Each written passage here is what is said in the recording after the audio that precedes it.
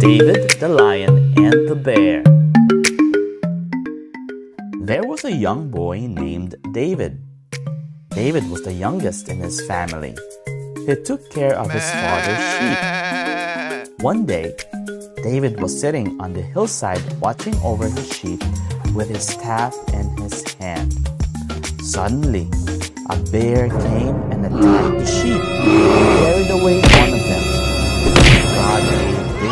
Courage to run after the bear and save the sheep.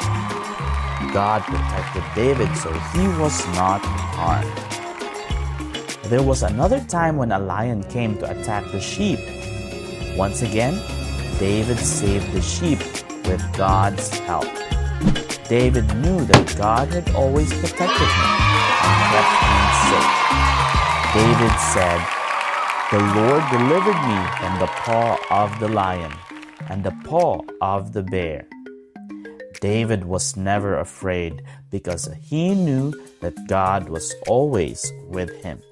Dear God, thank you, Lord, for protecting me every day. In Jesus' name, I pray. Amen.